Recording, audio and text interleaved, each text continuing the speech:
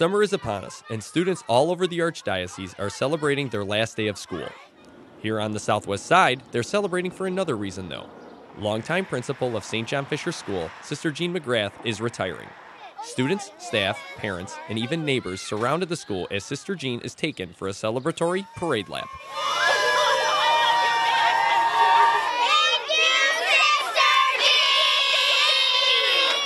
A tremendous outpouring of love that Sister Jean will remember for the rest of her life. A wonderful tribute.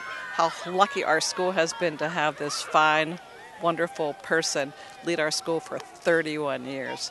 It was a great event today. You know, I never thought it'd be this crowded, getting all those kids here early in the morning. That was really unique to see. She means the world to a lot of people. You know, she's been a mother for people that needed a mother. She's been an aunt. She's been a friend. She's been a, a leader, a principal. Um, so people that know her, people that are from you know like the community, they, they really um, look to her for all, all answers and how to how to get through a lot of things. So she's been just a real strength and a real uh, cornerstone of this neighborhood and of this school, obviously, forever. Thirty years is a long time to be in one place. What kept Sister Jean going for all those years? The spirit of this community, this the trust that people put in you. You know, they're they're sending their most precious thing to not only to be educated but to nurtured, and so I think the knowledge that together with parents we can make a difference in these children's lives. We can provide faith development and a sense of prayer and reliance on God's grace. What you know, how many how many other ministries impact that many people on a daily basis? So that's I believe so strongly in Catholic education. This has been the most bittersweet experience of my life.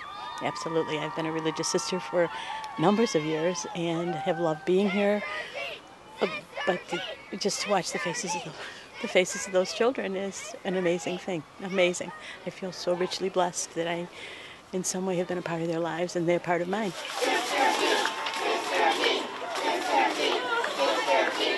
The St. John Fisher family gathered together for their end of the school year mass, with their guest of honor seated with her family in the front row. We say God is good, we say all the time. I say all the time. God is good. How about we say Sister Jean is good?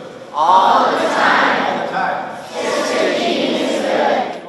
So now that she's retiring, what's next for Sister Jean? I would like to continue doing work in my religious community um, with the Sisters of St. Joseph. I would like to do some volunteer work. Um, I'd like to continue to be a part of the community here in some way, whether it's tutoring or, um, you know, you just can't cut everything off at once. So I will stay involved somehow. I don't knit, I don't crochet, I don't play bridge, so I better find something to do when I grow up. Students from several grades took one last opportunity to show Sister Jean just how much she means to them.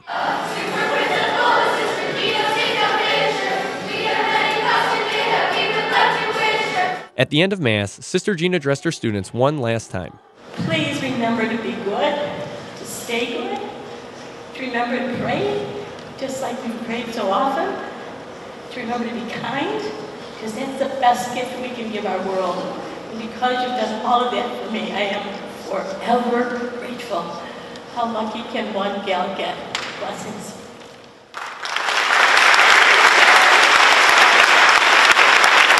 I'm Brian Brock, reporting from St. John Fisher School in Beverly.